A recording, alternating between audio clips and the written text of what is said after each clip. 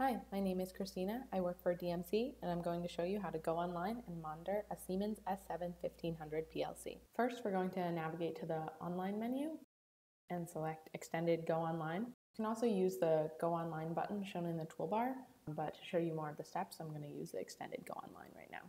So next, you're going to select the type of PGPC interface.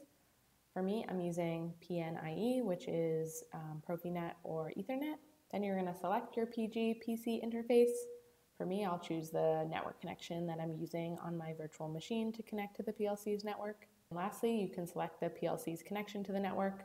I'll be using the X1 interface of the PLC. Then you can select Show All Accessible Devices in order to see all the possible devices. Click Start Search.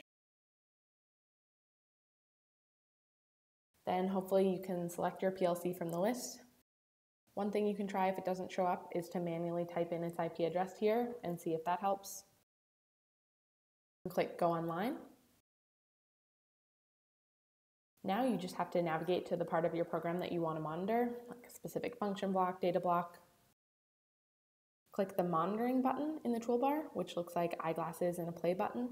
And now your active logic should be highlighted and showing live values can also look at a data block, which will show um, the live values next to their start values.